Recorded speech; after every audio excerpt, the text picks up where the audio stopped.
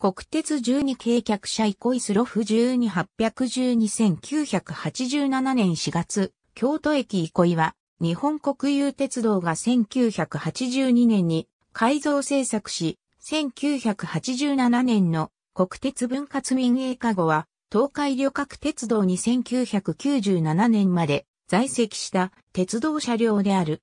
後年、ジョイフルトレインと呼ばれるようになった車両の一種である。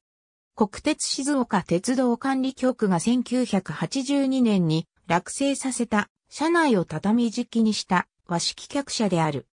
6両編成の全車が12系客車より改造されており、両端の車両はスロフ12系800番台、中間の車両はオロ12系800番台である。改造は名古屋工場が担当した。各社の構造は先行する東京北鉄道管理局のお座敷列車に準じているが、中間車の冷房装置が1個撤去され、休憩室の側窓が幅の狭いユニット冊子のままである点が異なる。各社の愛称は静岡局管内の河川名から取られている。